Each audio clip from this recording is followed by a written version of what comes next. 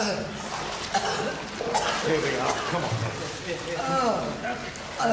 Come. I don't care how wealthy you are. I think you're a disgrace. Archie, we're a couple, a proper couple. He's even asked me to be his companion.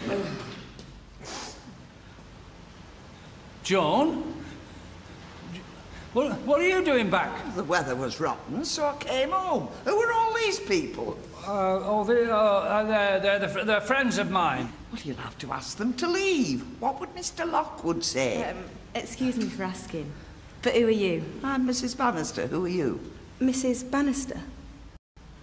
I thought you said your wife were dead. Who's dead? I'm not dead. This isn't your house, is it? Oh, of course it isn't. It belongs to Mr. and Mrs. Lockwood. They're in Zambia. Oh, no. We thought you lived here. We live in the cottage next door. I'm the housekeeper, and he does the garden. What have you been saying to these people? Uh, excuse me, but I want the first pop here. You lying. Yeah, well, well, well, well look, look, I said you wouldn't give me a second glance if I was skint.